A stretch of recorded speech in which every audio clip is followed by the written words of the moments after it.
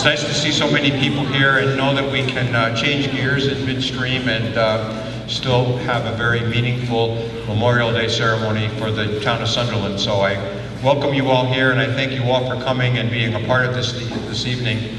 Um, we're going to get started in a couple of minutes. Uh, well, not a couple of minutes, less than a minute. Uh, there's a couple more people coming in. And um, we, we gather each year on Memorial Day weekend to honor those that have given their lives in service to our country, and especially those from Sunderland who have given their lives. And um, the service that's been put together over many years um, is a very meaningful and wonderful service um, and ceremony. And so I appreciate everyone being here and uh, all the efforts made to make this happen despite of the, the weather and everything else outside. We uh, begin this evening by asking you all to rise as the colors are presented by the VFW post.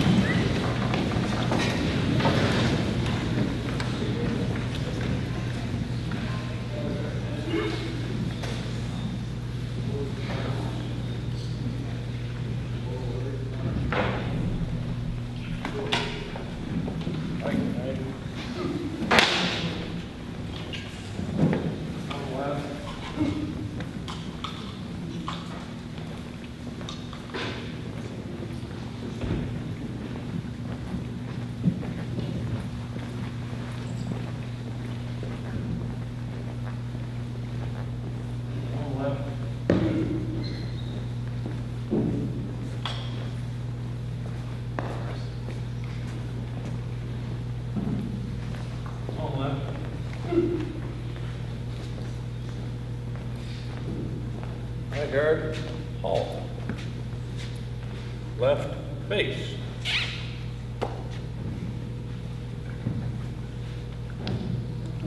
And at this time, we'll have a couple of our veterans place the wreath in front of the flag.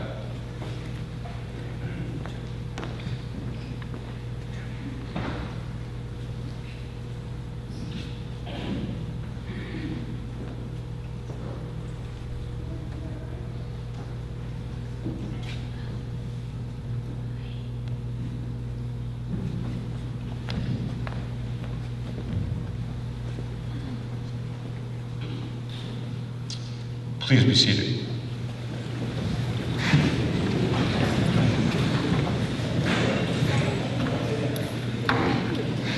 This year, for the first time, uh, I, I guess in many years, um, Governor Baker has issued a Memorial Day proclamation and sent it out to all of the 350 some cities and towns in the Commonwealth. And so David Pierce of the Select Board will now read that proclamation to us.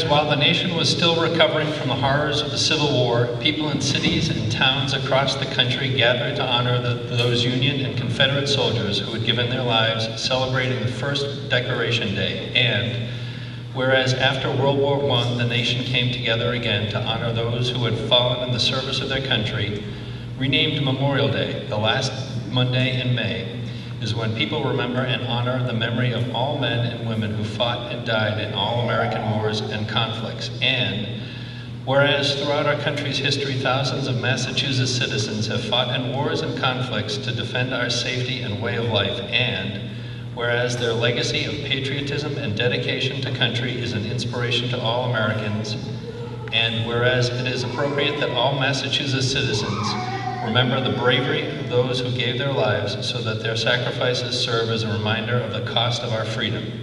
Now, therefore, I, Charles D. Baker, Governor of the Commonwealth of Massachusetts, do hereby proclaim Monday, May 29th, 2017, to be Memorial Day.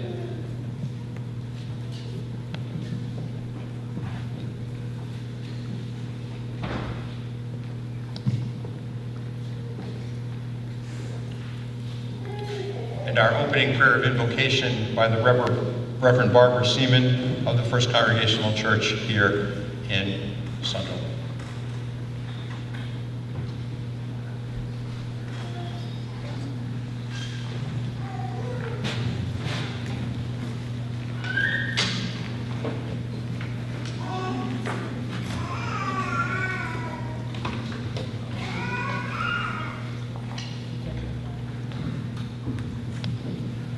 Barbara is related to General John A. Logan, who was the Supreme, uh, the, the commander of the Army of the Potomac, who initiated the first Memorial Day, if you will, toward the end of the Civil War, indicating that all the graves of both uh, the Confederates and the Union armies should be decorated with flowers in memory of the sacrifice that they gave uh, during that war, and it has become the Memorial Day that we celebrate today. So it is actually a, a, double honor to have Barbara here uh, giving the opening invocation uh, for our services uh, in Sunderland.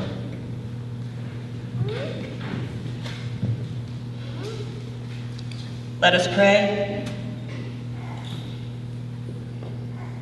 Loving God in whom we live and breathe and have our being, hear us as we honor those who through the centuries have given their lives in service to our country.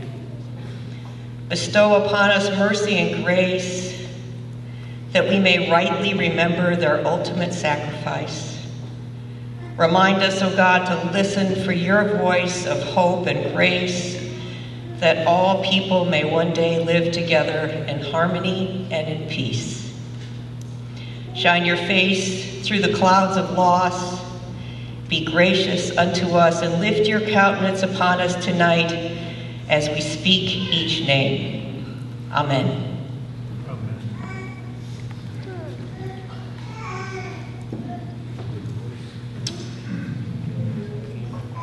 And let us stand at this time as the Frontier Band leads us in the national anthem, and let us join singing together.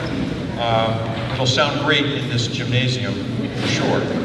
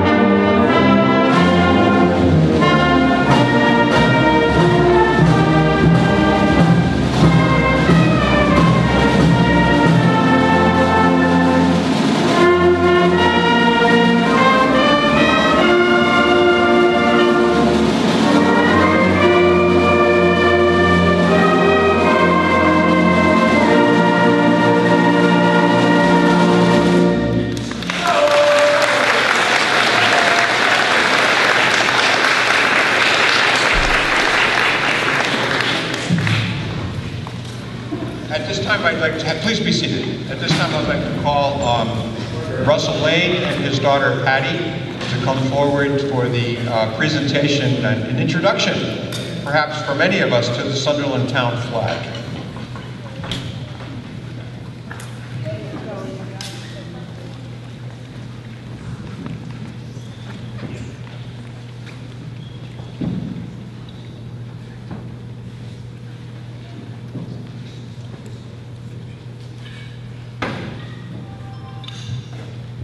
In February of 2004, Board of Select Selectmen initiated the project of the creation of a town flag for the town of Sunderland. This was in response to the desire by the Commonwealth to have a town flag from each of the cities and towns across the state in the Hall of Flags at the State House in Boston. A design contest for the flag was voted upon at annual town meeting that spring, and the design of James Croft of South Hadley was ultimately chosen. The town had two flags made, one for the Hall of Flags at the State House, and one for the meeting room in the town office building here in Sunderland. Nancy Lane McCall of Idaho made a replica of the town of Sunderland flag as a gift this past Christmas 2016, for her father, longtime Sunderland resident and active participant in town affairs for over many years, Russell M. Lane of North Silver Lane. Russell was planning to walk in the parade today with the flag being carried by uh, one of his uh, neighbors and by his daughter Patty from Boston. And we are glad to have them with us today and to present this flag uh, to many of you who perhaps have never seen it or known anything about it. This is our town flag, the town of Sunderland, of which we are proud not only of this flag, but of our town as well. Thank you very much.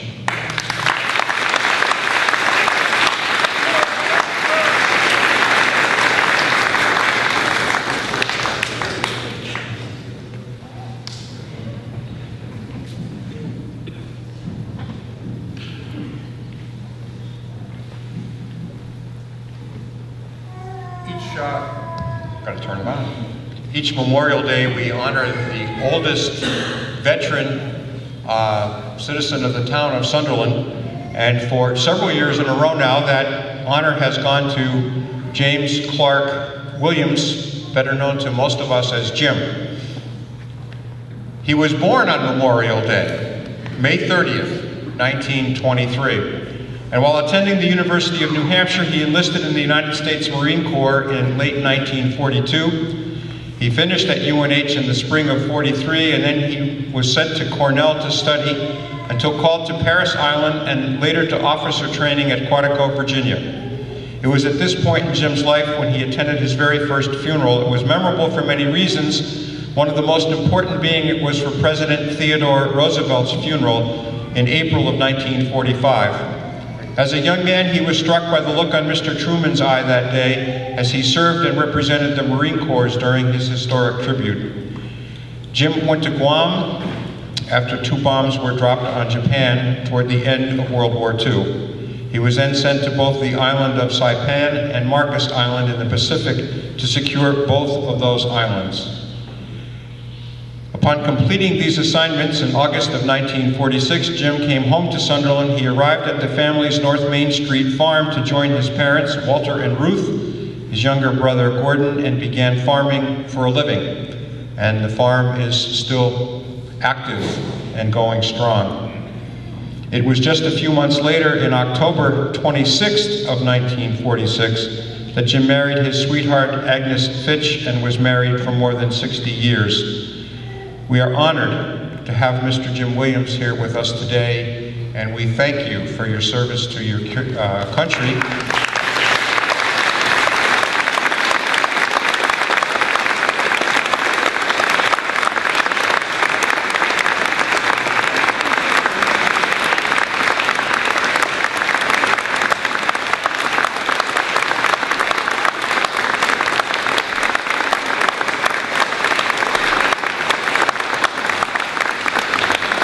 And we also thank you to your service over many, many years to the town of Sunderland. Thank you very much, Jim, and we're glad to have you with us.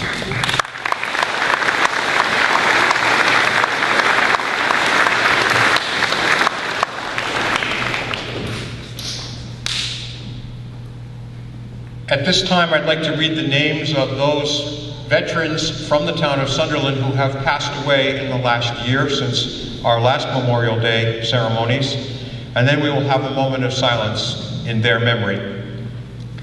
Thomas Herrick, who served in World War II. Waldemar J. Kolazewski, who served in World War II. Floyd Russell Locke, who also served in World War II. And Marion Taylor, who served in the Korean War. Let us please have a moment of silence in their memory.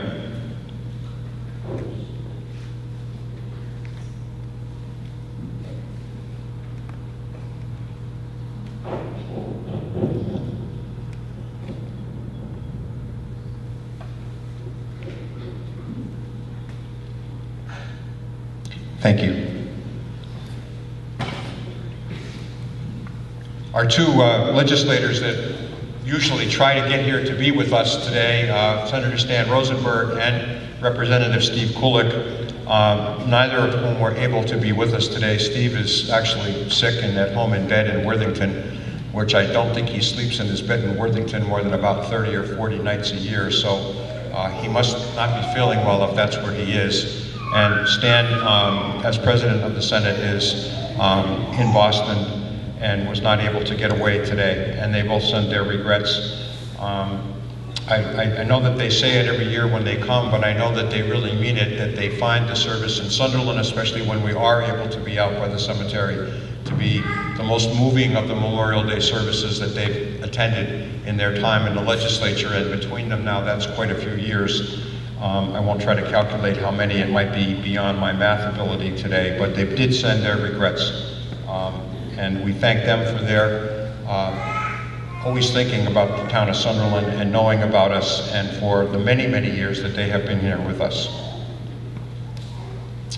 And now we would have a musical medley from Frontier Regional High School Band. We thank them for being here with us today. We know that they have uh, several engagements this weekend, and thanks to their director, Max um, Cheryl, for um, the excellent job that you're doing with the band.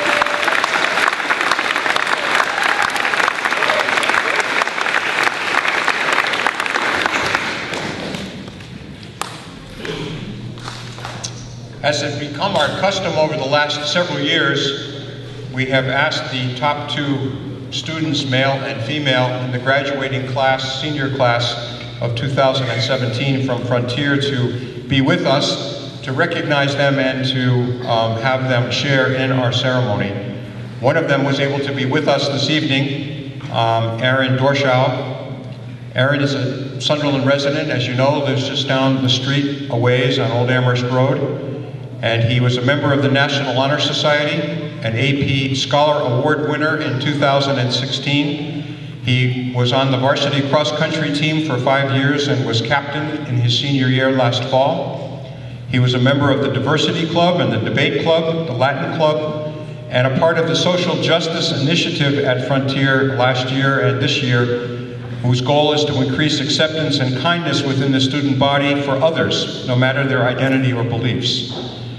He has also served in our community as one of the library teen advisory board members, and he also served as an advisor to the U.S. Rep. James McGovern, our congressman, um, and the youth cabinet.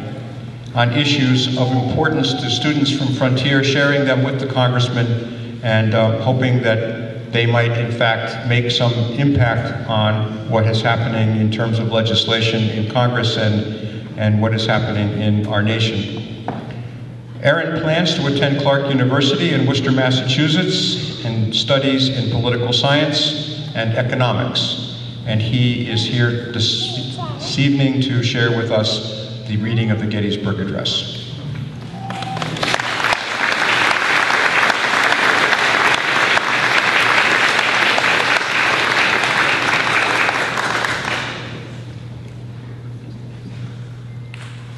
Gettysburg Address is, one of, is the most famous speech of U.S. President Abraham Lincoln and one of the most quoted speeches in United States history. It was delivered at the dedication of the Soldiers National Cemetery in Gettysburg, Pennsylvania on the afternoon of Thursday, November 19, 1863, during the American Civil War, four and a half months after the Union armies defeated those of the Confederacy at the de- decisive Battle of Gettysburg. In just over two minutes, Lincoln invoked the principles of human equality espoused by the Declaration of Independence and redefined the Civil War as a struggle not merely for the Union, but as a new birth of freedom that would bring true equality to all of its citizens. It is especially fitting that we recite it on Memorial Day as a reminder of the cost of our freedom and equality. Four score and seven years ago, our fathers brought forth on this continent a new nation, conceived in liberty and dedicated to the proposition that all men are created equal. Now we are engaged in a great civil war, testing whether that nation, or any nation so conceived and so dedicated, can long endure. We are met on a great battlefield of that war. We have come to dedicate a portion of that field as a final resting place for those who have gave their lives that that nation might live. It is altogether fitting and proper that we should do this. But in a larger sense, we cannot dedicate, we cannot consecrate, we cannot hollow this ground. The brave men, living and dead, who struggled here, have consecrated it, far above our poor power to add or detract. The world will little note nor long remember what we say here, but can never forget what they did here. It is for us, the living, rather to be dedicated here to the unfinished work which they who fought here have thus far so nobly advanced. It is rather for us to be here dedicated to the great task remaining before us, that from these honored dead we, we take increased devotion to that cause for which they gave the last full measure of devotion that we here highly resolve that these dead shall not have died in vain, that this nation, under God, shall have a new birth of freedom, and that government of the people, by the people, for the people, shall not perish from the earth. Congratulations, Aaron, and we wish you best of luck at Clark next year. Thank you for being with us.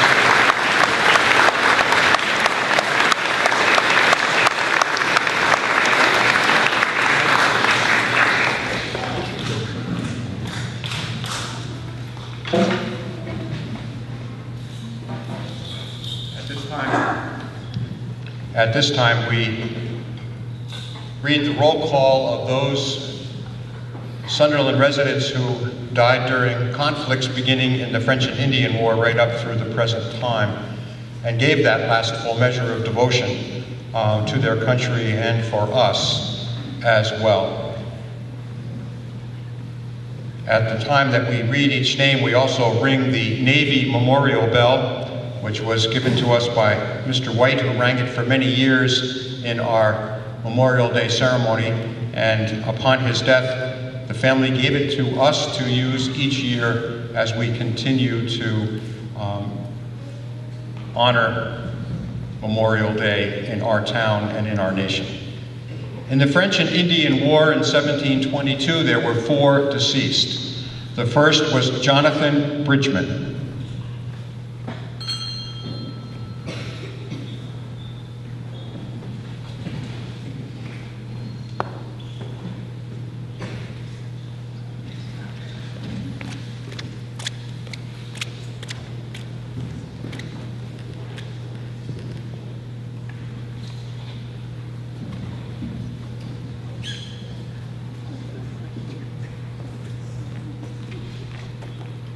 Samuel Gunn.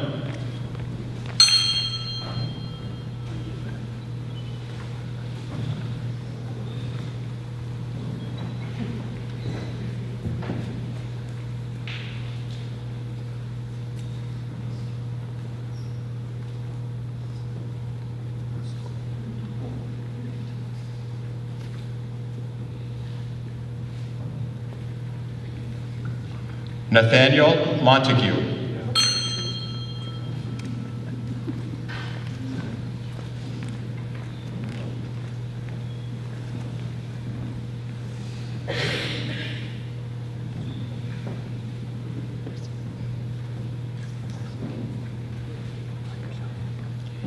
Eli Scott.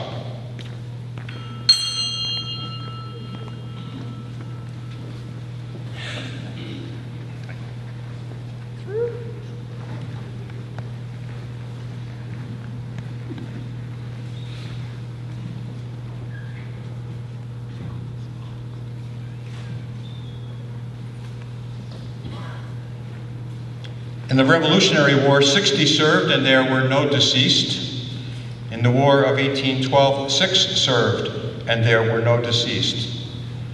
During the Civil War, 85 served and there were eight deceased. Charles Blodgett.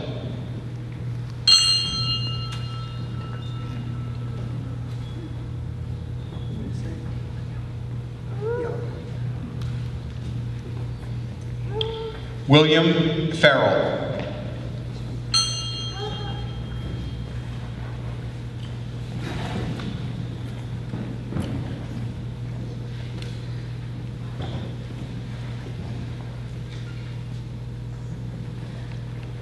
Elliot Puffer.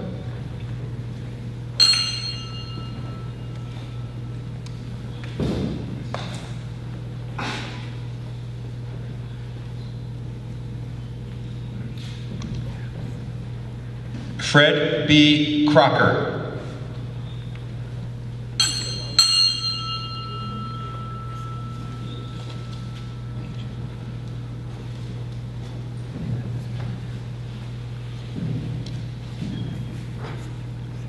James Hill.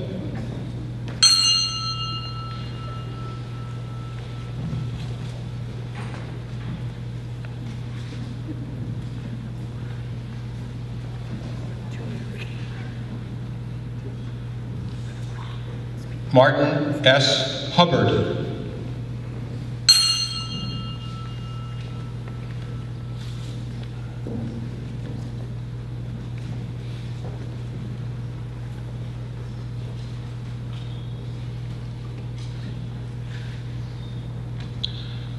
John Jones.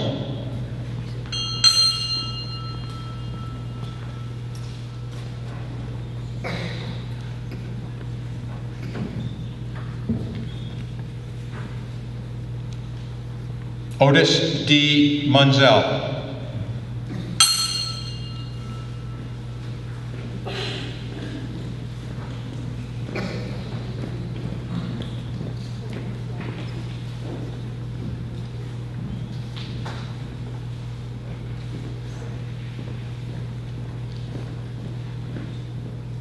In World War I, 42 served and there were two deceased.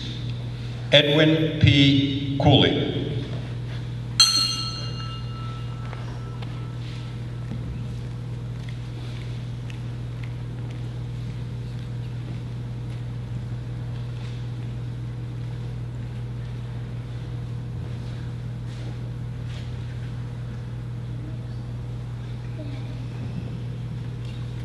Antonio Tomasco.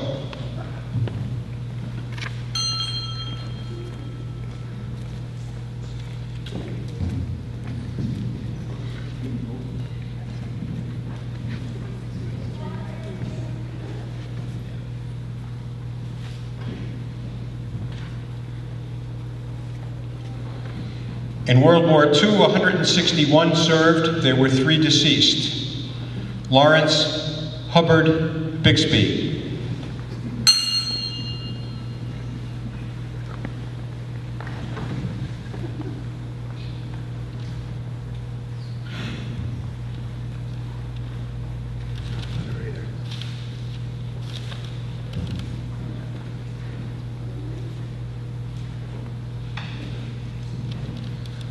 Michael Corpita.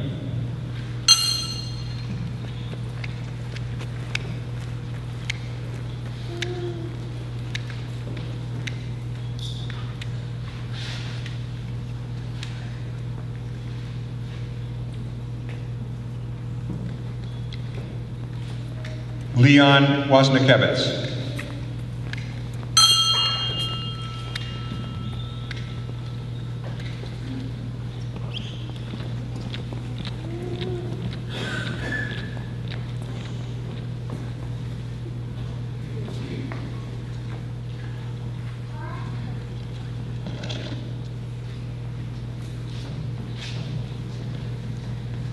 In the Korean War, 37 men and one woman served. There were no deceased. In the Vietnam War, one deceased, Richard C. Graves.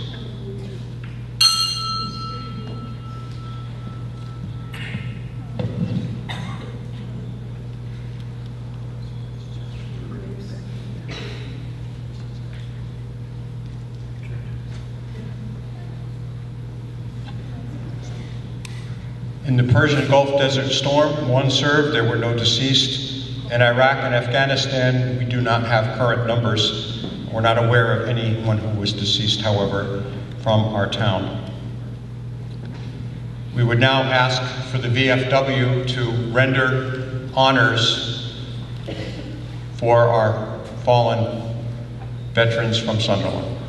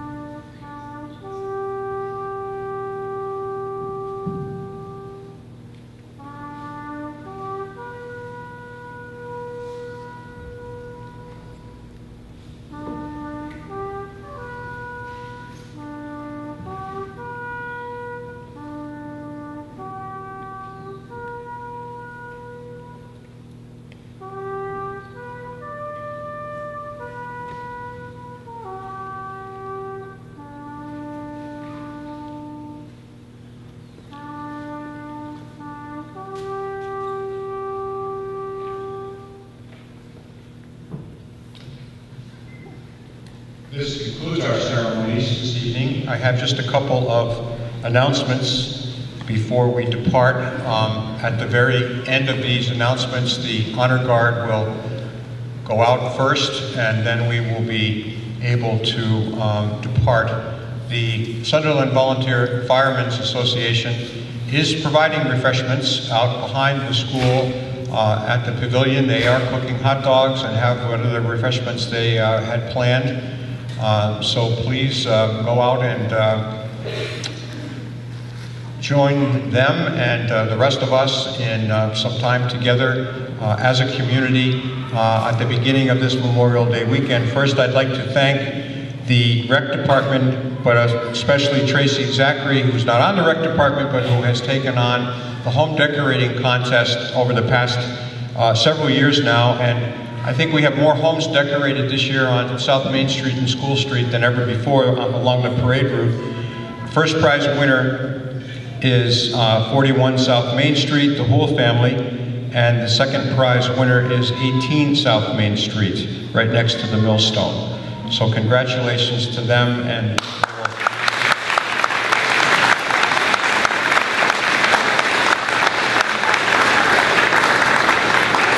We have signs that will grace their front lawns for the weekend and uh, some prizes for them as well. But it has been a wonderful addition to our parade and to our Memorial Day um, to see the South Main Street decorated and uh, all the flags that the Highway Department puts out for the occasion. We want to thank them as well. I'd like to uh, thank the Deerfield Whately VFW Post 3295 for being uh, our honor guard and color guard, as well as doing our gun salute and also organizing the bicycle decorating contest. Um, probably not quite as much as we would like to have had given the weather, but we thank them for their efforts and for being here with us. Um, we also thank um, Lenny Bladja and the veterans that are here to be a part of this ceremony. I'd like to also thank um, the Frontier Regional Band again and Max Sherrill. Um, like to thank the police department for helping with uh, crowd control and traffic control. Um, they do a wonderful job when we do have the parade, and uh, it uh, takes a lot of work and coordination. We also thank the Highway Department again for the flags, Tom Zanowski for the PA system, Frontier Community TV for being here, and um, I would also just wish each and every one of you to have a enjoyable Memorial Day weekend, but think about the things that we've heard this evening, that we've shared together. That's the reason for this long holiday weekend, and as we go off to family fun and baseball and softball games and more band playing and other uh, activities, um, let us remember what this long weekend is all about as we remember those who have served and who have fought and died for the freedoms that we enjoy in this great country of ours. So God bless you all, and um, we will see you uh, out back, hopefully, for some refreshments. The Honor Guard, Color Guard, will now recess.